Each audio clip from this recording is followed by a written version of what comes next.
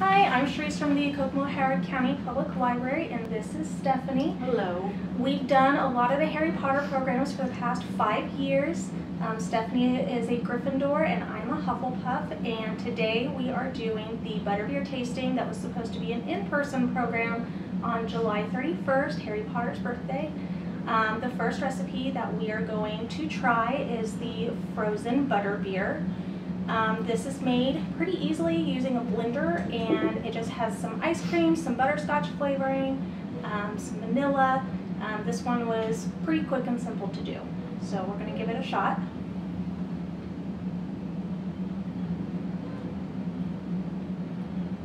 That's pretty good. Yeah. It's, kind of runs close to the frozen one at the Universal. Yeah, that's kind of what I was thinking.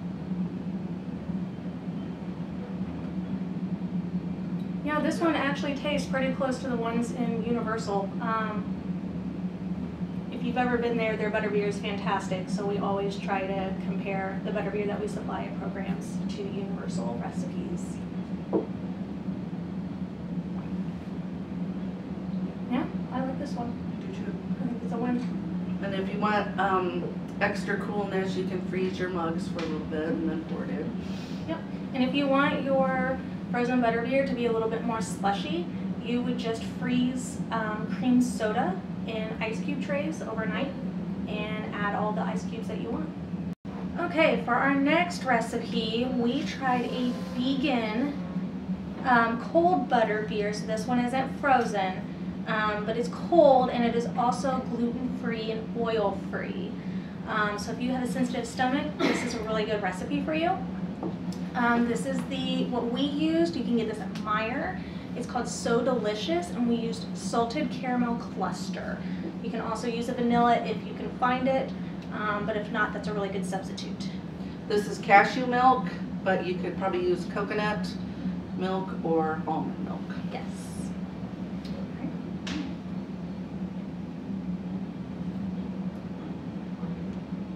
Oh, that's sweet. Mm-hmm. That's really sweet. Little tangy. Yeah, it is a little tangy.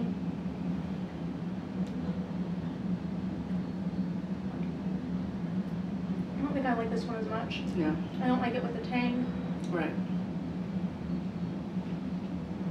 I think it's a good recipe if you are vegan or allergic to gluten or can't use oil, Mm-hmm. but this isn't my first choice. I'm sure there are things that we can do to make it a little bit better. Um, this also used apple juice, um, so maybe a little less apple juice. I Yeah. wonder if the apple juice is making It It might be the apple juice and the nutmeg mixed together. Yeah, I think so. We're back again, and this time we have the butterbeer latte recipe. This one is made with hot coffee, um, whipping cream, and then just some toppings. So we'll see how it is. So what's your character gonna be for the other? Um, I think I just taste coffee. I do too. Which is weird. Yeah, Same character?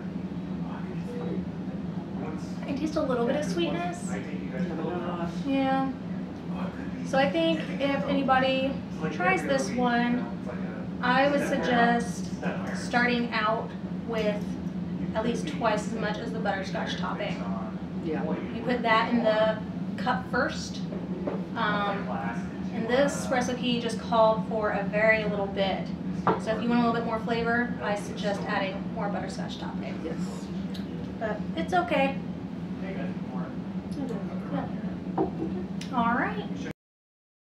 All right, we are back with another butterbeer recipe. This one is actually a steamed one and requires a little steamer wand that you can pick up at Meijer for about seven bucks.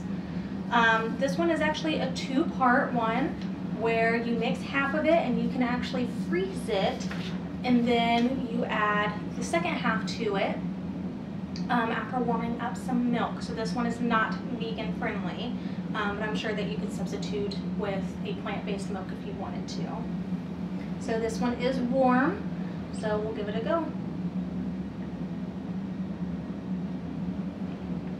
Very good. Mm -hmm. Very good on a fall Yes. chilly day. Yes, I agree. Yeah, I like, I think I like this one the best so far. Mhm.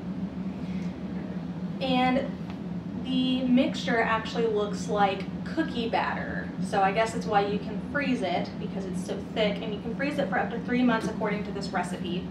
Um, and then you just add a small dollop to it, um, to your mixture and stir it in and that's it. It's pretty simple.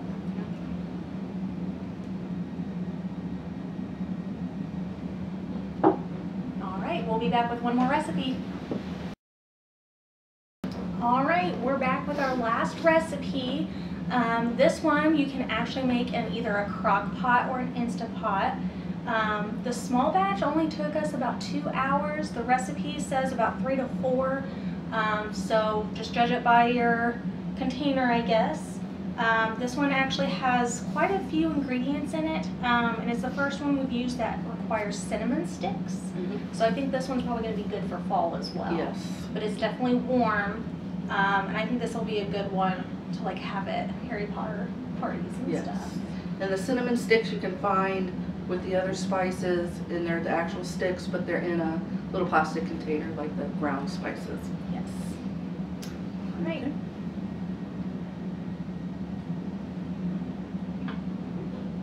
It's pretty good.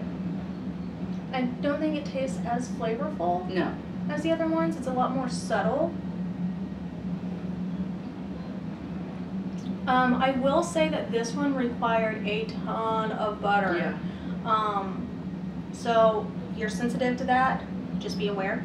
Um, I think maybe if there was more cream soda in it. I think so, I think this one because does. there is a butter, butter, good butter taste. Yes, there's a good butter taste, but I think it requires a little bit more cream soda.